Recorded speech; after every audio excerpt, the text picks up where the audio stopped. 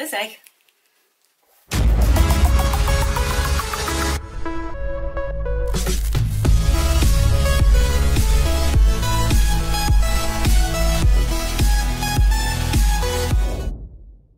So, heute malen wir wieder.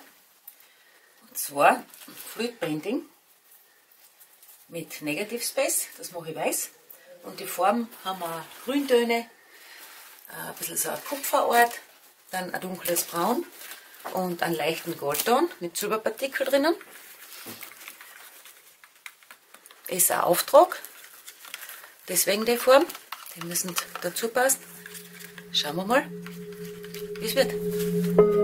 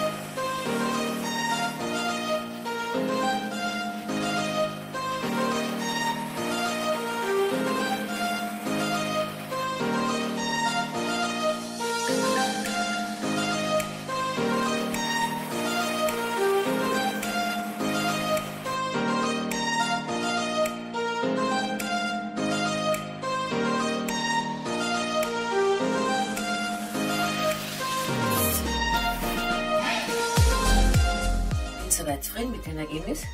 Jetzt muss es noch trocknen. Und dann bin ich echt neugierig, wie das ausschaut. Das ist nämlich ein wunderschöner Holzrahmen. Und das Bild kommt in der Bauernhaus. Geil, oder?